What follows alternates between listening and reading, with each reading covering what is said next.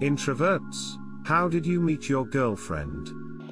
Went to a friend's party and three of my friends and me were sitting around a fire.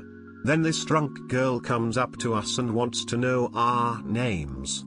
Well I have a rather exotic name and she jokingly asks if my parents didn't love me or why they else would they give me this name. At this moment I knew I will have to find her on Facebook and ask her out. And no I don't know what's wrong with me. Three years later and we're still together currently in a long distance relationship. I sent out 50 messages a day on OkCupid and suffered through dozens of terrible short-term relationships. Now I'm happily engaged to someone who matches my crazy. Introvert girl, easiest way I found to even meet new people is online. Joined Tinder one day, got several messages. Got asked out on my first date and we've been together since. The way he asked me out was so are we a thing? We hang out every weekend and my family thinks we are. She was checking me out one day. Grocery store, not what you were thinking. I had been interested in her for a while so I messaged her on Facebook. She gave me her phone number and we went on our first date. Two and a half years later, we've been married for a year and a half, and haven't looked back since. Fair to say that I was extremely fortunate with how it all turned out, I'm awful around new people. Hey op, and from the looks of it, many people in this thread, what do you think introverts are? Deleted. School. I was heavily under the influence of alcohol and marijuana at a party in my apartment and threw up all over the bathroom. She ended up helping me up to my room and took care of me that night to make sure I didn't throw up in my sleep. We started dating a week later. Introverted girl. Men my ex-FWB at a party and my boyfriend at school. We had mutual friends and ate lunch together. If you like a girl just talk to her. I was extremely shy, so shy that my throat would seize up from anxiety, cutting off my ability to speak. Also was emerging from a 10-year, serious depression where I lost almost all friends and contacts. Saw a therapist for the depression, but the social thing was very tough. I decided to put on a fake persona whenever I talked to cashiers at stores. My persona was confident and outgoing, complete opposite of me.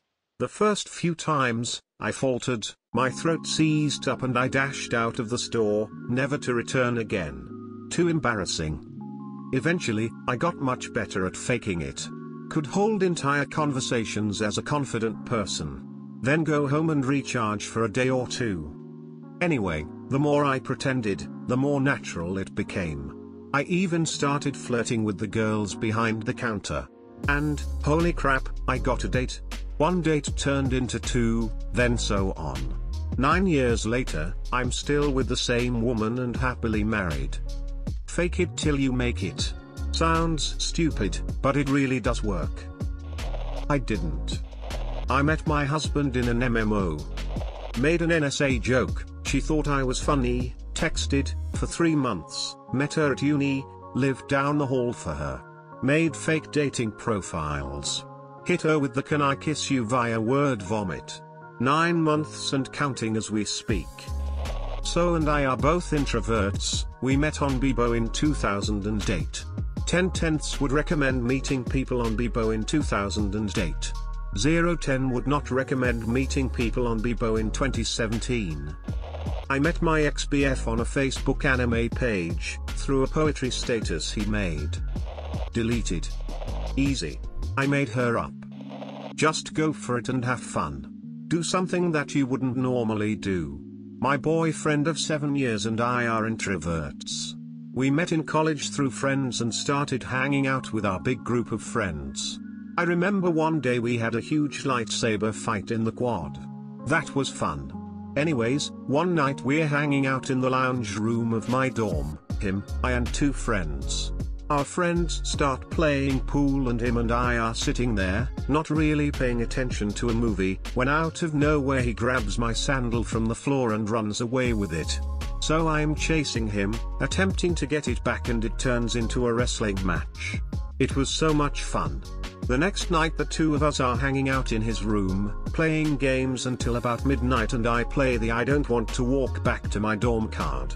Even though he offered to walk me back, I declined. So he let me sleep in his room, yes, sleep, and the next morning there may have been some cuddling and kissing involved. Later that day, after skipping all of our classes, and ignoring our friends until dinner time, we decided to start dating. This all happened, from us meeting to dating in the literal span of a week. We just went for it and I don't ever regret it. By saying hello to her every day when she walked past at work. I was on nights, she was on early shifts. Now, nine years later, we're still together.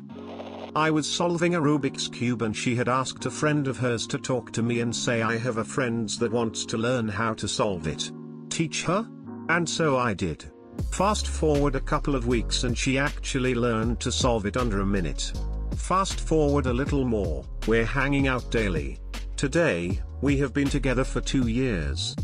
Really guys. That cube is the best thing to ever happen to me. I met my great group of friends because of it too. I'd. We worked together. Work was a real comfort zone at the time, my confidence was always at 100% and I was always high energy. Just demanded her phone number in the middle of business. No big deal. I could never have even said hi if it was school slash bar slash bus stop or whatever. It's actually sad because I don't work there anymore and I'm single again, she moved away, Feels bad man. RuneScape. I was nice to her, but I wasn't weird about it because she was so far out of my league that I knew it wasn't possible for anything to happen. She asked me out to lunch. Whenever neither of us had anything to do, we'd get dinner or see a movie. We went on a vacation together. She got drunk and held my hand. When we both got back from the vacation, I asked her out. Our first kiss came, my first kiss ever, when she demanded that I kiss her. Been married six years now. Sat behind her in a community orchestra before asking her out. Also took over a job in the group from her so I'd have an excuse to interact. How I met my GF isn't all that interesting, but how I worked on myself in order to improve my chances as an introvert and formerly very shy person, is something I think more people reading this thread will find useful. Realizing that introvert doesn't equal bad social skills, only that you charge your batteries when you're alone. Use your strengths, introverts are often better listeners and at observing others. By using statements about your observations, this needs some social calibration, but practice makes perfect, the conversations will flow better. Many people have told me that I'm very easy to get to know. The secret is that I'm just really good at getting other people talking about themselves. Accept that as an introvert, long days being social is often tiresome. Either you can come later to the pre-party, or go home sooner. Also, I've found that drinking water and eating some food often energize you more than alcohol if you have been drinking for a few hours. It's better to be energetic and fun for 4 hours instead of just slowly turning into a socially saturated monster after too many hours of socialization. Find your sweet spot and stick with it. Everyone is shy in some forms of interactions, but some generally more than others. You will never overcome your shyness if you don't step out of your comfort zone. You need to get exposed to those types of interactions you fees. Deliberately focus on the process, i.e. taking initiative slash action, instead of the results, i.e. the outcome slash response. Most often you will find out that you had little to fear, and often you will don't care about the outcome because you're so proud of yourself for pushing yourself out of your comfort zone. The reality is that most people don't care that much if you say something stupid, especially if you show that you don't take yourself too serious. Embrace your weirdness, it shows confidence. People think you're more of a weirdo if you're very silent rather than someone who is true to themselves. You will attract the people that fit your personality if you act like your true self. Yes being yourself is a great tip, you just have to act like yourself, not like the fake, boring persona most people act like when they're not yet comfortable with the one they're talking to. Tinder. We met in a psychiatric ward. After my GF at the time cheated on me, I attempted to hang myself. After my failed suicide attempt, I was put on suicide watch in the psychiatric ward in the hospital.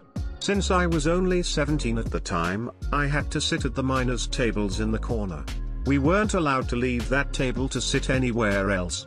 The next day, she was admitted and had to sit at the same table since she was 16. Since there wasn't much to do, we talked and talked and talked. Now we are over a year strong and I love her to death. She was my friend's neighbor. We went to the same high school and started talking on Facebook a bit. One day she asked me for my number. Kinda went on from there. Almost nine years later we're still going.